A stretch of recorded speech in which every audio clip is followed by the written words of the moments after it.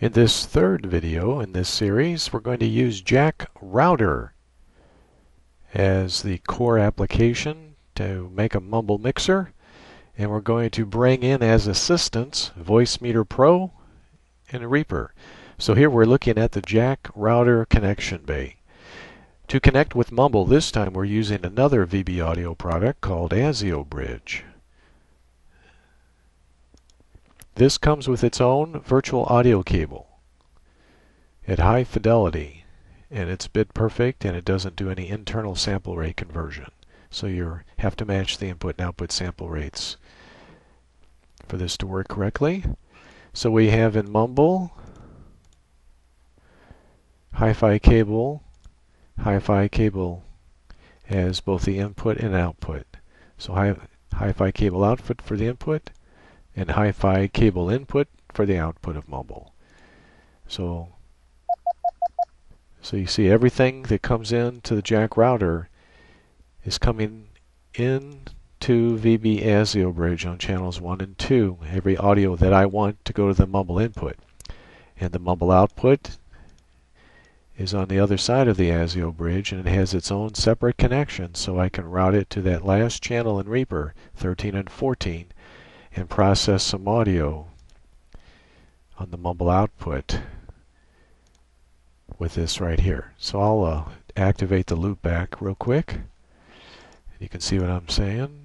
Hello, hello, check, check, check, check, check, check. So this upper, this upper is, the, is actual the actual audio. audio. Well, well, hold on a second. So the upper was the audio level that's coming in to the mixer, and this LoudMax keeps it at minus 12. Let's do it again. Test, test, test, test.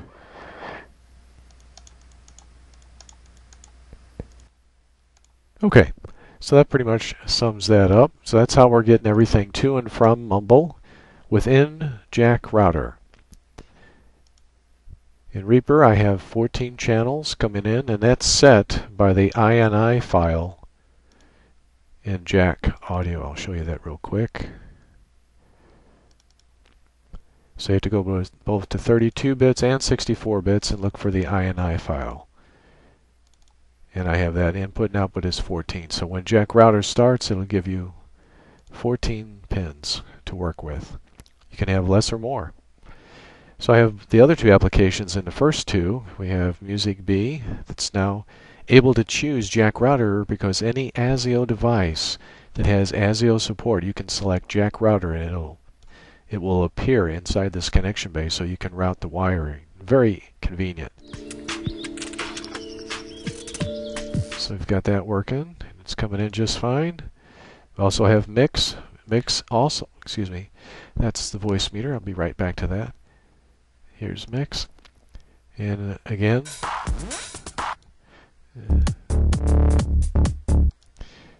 so we have Mixxx coming in. We're using 11 and 12.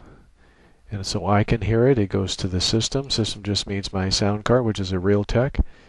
And 11 and 12 also routes right up here to the first two channel inputs of ASIO Bridge. ASIO Bridge connects the ASIO driver to the Hi-Fi cable virtual audio cards that install when you install ASIO Bridge.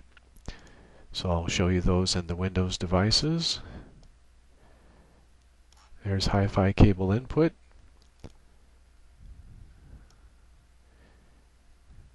and Hi-Fi cable output. So go into properties on both of those, playback and recording, make sure you have the sample rate the same.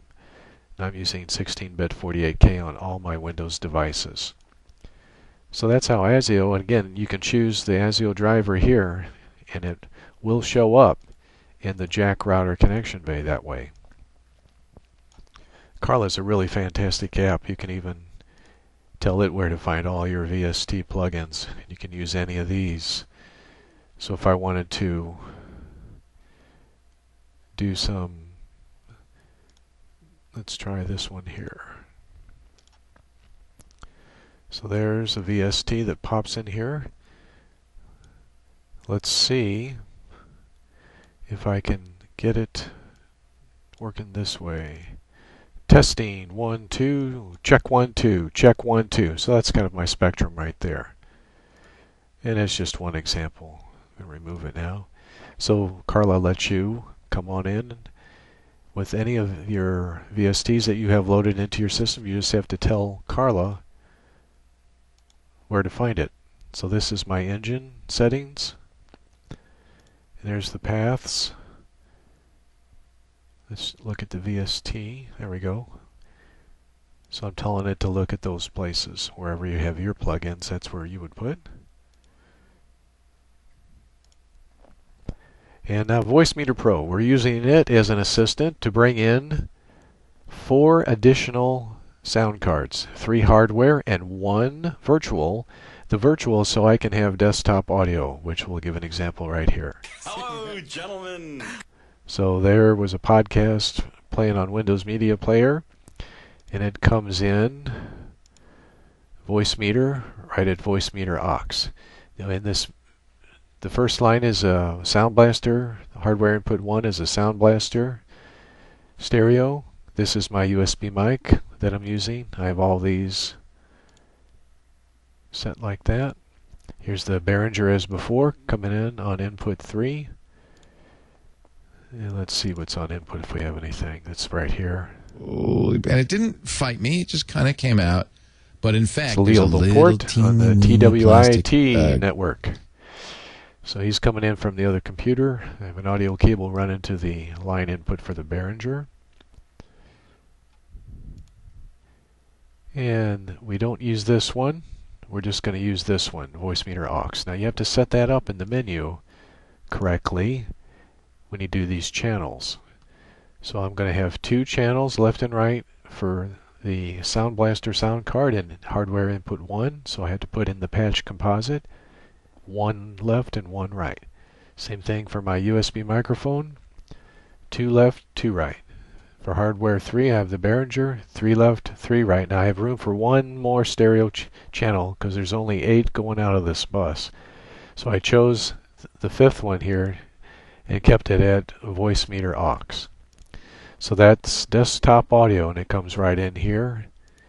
And then it comes out right here on 7 and 8. So desktop audio comes out here, goes into Reaper, desktop audio right here. Let's play it again.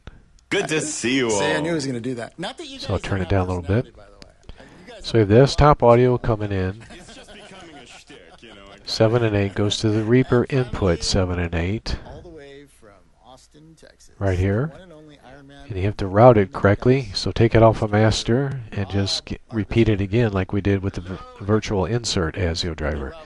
So we have out 7, in 7 and 8, out 7 and 8 as you just have to click this add audio hardware output right there with that drop down menu and then choose the right number.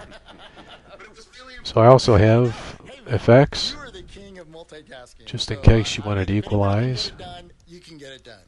Yeah, but I'm not multitasking now. I'm with you 100% until you get a little tiresome, and then I'll move on to something. So you get the idea. So you can take it out. Special uh, plan to knock And I'm not particularly trying to get any good audio out of that just to show you the effect. And then turn it off with that button. Look, man, if Rob ever wins So anyway, you can adjust that all I'm saying is however you see fit. thing. A lot of plugins are available to help your audio and improve it. And privileged to have Mr. Dennis Moody Okay, so let's take that down. You know what? That- Down on my iPad over here, kind of explain what a formatter is. If you have it missed one of coming our in. last Coding 101 episodes, And that would be C the Sharp, Sound but Blaster, Basically, all it is is which is this one right here on hardware what's input in the, one. What's in the string here? In this case, there's So zero. and one. It's Voicemeeter substituting is that zero and connecting one with that method, which is shows, sound and card. the parameters that I'm passing in, and that's For the hardware A1 output, you just oh select Jack. Router. Oh, And so- oh, Only in the. A1 can you select an ASIO sound card, there it is, Jack Because you had a Router. lot of input in the designing of this Then it'll take any of these other inputs, and you have up to four that you can use if you want to keep it stereo, since there's categories only eight channels going out. Because I mean that's that's that's beyond So we us. have Sound Blaster once, coming once in, we're using it, we can't reprogram right there. the API. But what made you And it goes choose that in the to? Uh, actually, out that Voicemeeter Pro out one by, and uh, two, which I have going And, into uh, Reaper hopefully three and four. Now this is my laptop microphone. talking with them. But uh, Because on my when- when ASIO for all, we're using like, the Re- is what we've Re, uh, Realtek HD audio out, Is- audio is there mic input. sort of accepted format or they were developing the website, which uses. So the that's what that's for, and that's where I have the tones coming in. based on what they needed to do the website, As we did before, so that tones coming in the mic jack, going to the Reaper. Any other We're doing the same thing as And we did go before. out and ask developers that We have that noise web apps, filter. What would you We have an like to EQ on it, And so frequency we, we did factor spectrum. that in there. Uh, now, one thing I do want to mention is I, let's change it to pulling by the 16. show name, and Yeah, it I- looks I just familiar, and we have the scope. Pulling by the show ID, So we can look at the sometimes shows waveform. get renamed. Like So, it looks iPad great. Today to not, not often, but yeah. Yes, So but that's it, that. It could happen. yeah, So. yeah, yeah. Oh, oh, actually, something else. right, about let's take is, this uh, off. we do. Is that audio?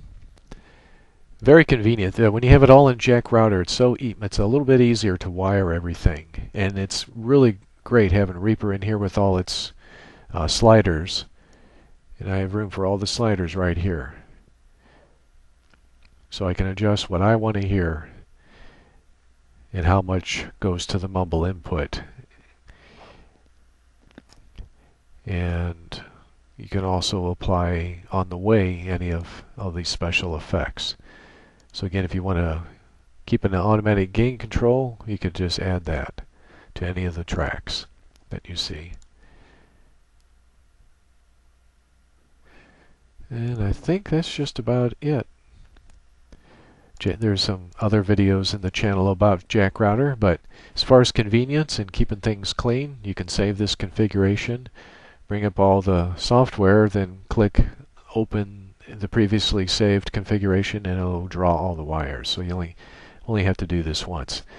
The other thing that might be unique with Reaper is bringing in a MIDI control. So if you had a MIDI controller with a bunch of knobs and sliders, you can control this that way too by directly connecting to the MIDI input of Reaper with your with your MIDI device. So the output of Mumble is just right here, 13 and 14. So the inputs do not go to the outputs, and the outputs don't go back to the inputs. So we have all this going to the input of uh, Reaper, I mean uh, VBA ASIO bridge, which is the input of Mumble, and then the output of Mumble has its own separate channel so that you can modify the audio just how you want to hear it, and it just goes to you and the sound card. It does not go back to the input of Reaper if you number this correctly, and make sure to take it unclick in these routers on all these. Don't use the master, otherwise it will send it to channel 1 and 2. So mumble output. Again, it's only 13 and 14. There's no master. If I click the master, then it would go to 1 and 2, and then you would get that audio feedback loop. And it would, would be non-stopping. It would just keep going back over and over and over again. So just turn that, take that off, and then just use the routing to duplicate the input channels and use the same numbers for the output channels. I think that's pretty much it. So this is still probably a few more ways you can do all this, but this should be enough experimentation to ho- hopefully create some interest in using these great products for creating your own mumble mixer with this kind of software. Thank you for watching.